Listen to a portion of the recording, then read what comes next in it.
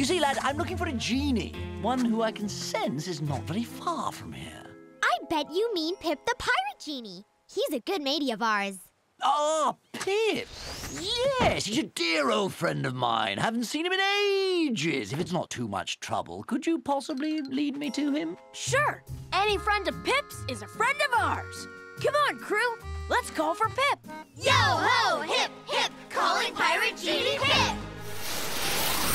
Ahoy, mateys! Great to see ya! Pip, say hello to an old friend of yours. Hello. Ah! He's no friend. He's Dread, the evil genie. He steals other genies' magic to use for himself. Yay, hey, no way! You tricked us! Yes, I did. I do lots of things to get what I want, and what I want is to recharge my magic. You will do nicely, Pip the Pirate Genie. Now click left or right for more great shows, or subscribe to keep up to date with the latest Disney Junior YouTube clips.